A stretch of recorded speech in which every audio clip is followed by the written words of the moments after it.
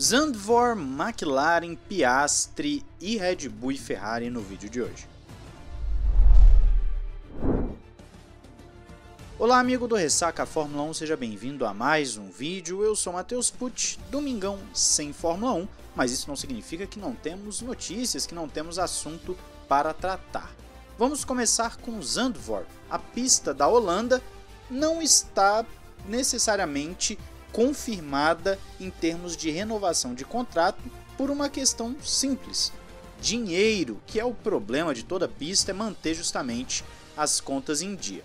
De acordo com o organizador, 2022 e 2023 serão anos espetaculares para Zandvoort porque os ingressos já foram esgotados para essa temporada e o de 23 já está quase esgotado. Só que a opção de renovação de Zandvoort, que seria uma renovação automática caso eles queiram, não será ainda ativada, pelo simples fato que eles ainda não têm o dinheiro suficiente para fechar as contas, estão dependendo de patrocinadores. No momento, somente a prefeitura de Zandvoort apoia desde o primeiro dia, já que nós estamos falando de um evento que é totalmente privado e depende da verba justamente para poder se manter. Não é como se o circuito ou o Grande Prêmio fosse bancado pelo governo por si só.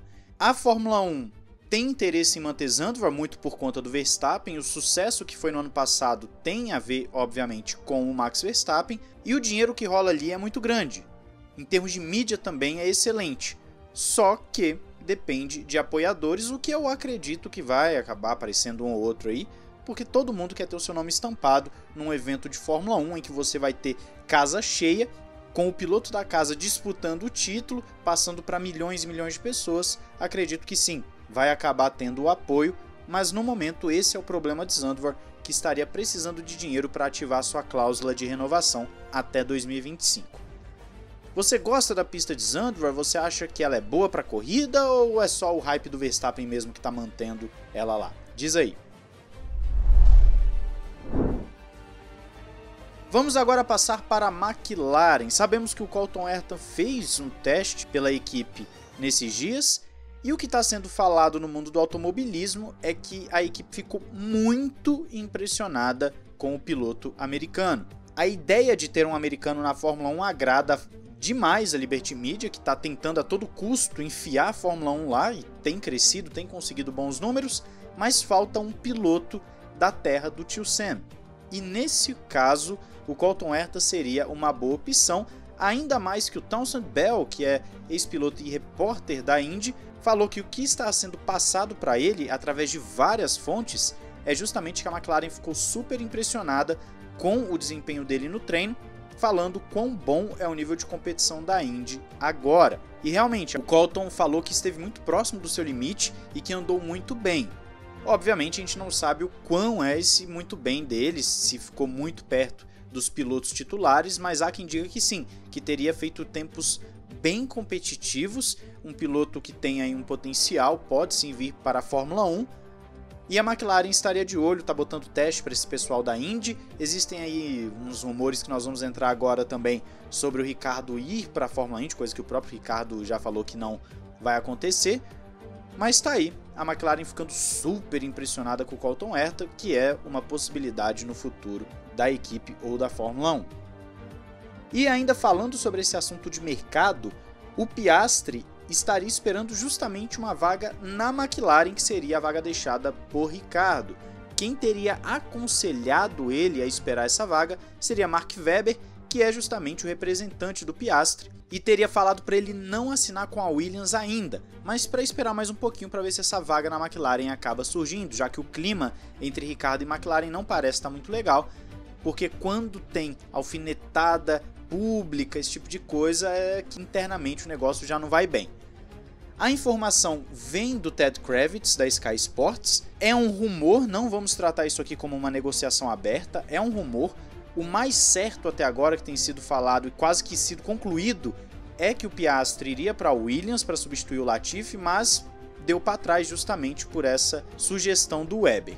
Piastri é um piloto com potencial, muita gente falando sobre ele, estamos numa certa expectativa para ver o Piastri na Fórmula 1, e se for para a McLaren, a princípio é melhor do que a Williams, já que a McLaren, por mais que não esteja vivendo os seus melhores momentos, ainda tem um carro mais interessante do que o da outra equipe britânica. Vamos aguardar para ver como esse mercado vai se desdobrar, como que as coisas vão acabar virando em torno do Piastre, que eu espero de verdade que ele esteja no grid no ano que vem. E qual a sua opinião sobre isso? Diz aí.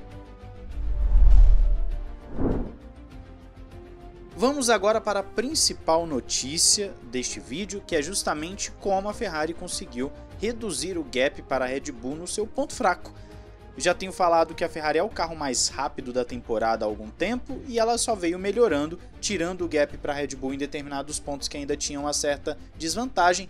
E o Matia Binotto explica claramente aquilo que também a gente já tinha falado aqui no canal, que é uma questão de raciocínio lógico, né? a gente não precisa nem fazer um grande estudo para perceber. Em matéria que você confere na descrição, Binotto afirma que eles tinham uma desvantagem em linha reta, principalmente nas zonas de DRS, mas em termos de potência, quando comparado, eles buscaram trabalhar bastante e a nova asa traseira foi justamente o que permitiu liberar todo o potencial do carro da Ferrari. Essa asa está com o Leclerc desde o Canadá e com o Sainz desde Silverstone. E foi justamente assim que reduziram a diferença em termos de velocidade, que agora eles teriam uma vantagem muito pequena ou insignificante para a Ferrari. Essa mudança de uma asa de arrasto mais baixa, ao invés de reduzir a força descendente, permitiu justamente a Ferrari não sacrificar a degradação dos pneus, o que é um ponto forte. E o Binotto fala sobre isso também, afirmando nas curvas que limitam o uso de energia, eles estão bem próximos em termos de performance.